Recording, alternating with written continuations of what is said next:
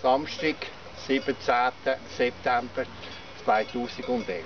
Wir sind in Wildhaus. Heute hat der Hans Schiesser seinen 50. Geburtstag.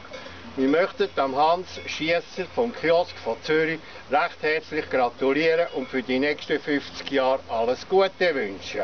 Hans, wir stoßen heute an mit dieser Flasche Champagner auf dich und wünschen dir einen ganz schönen Tag.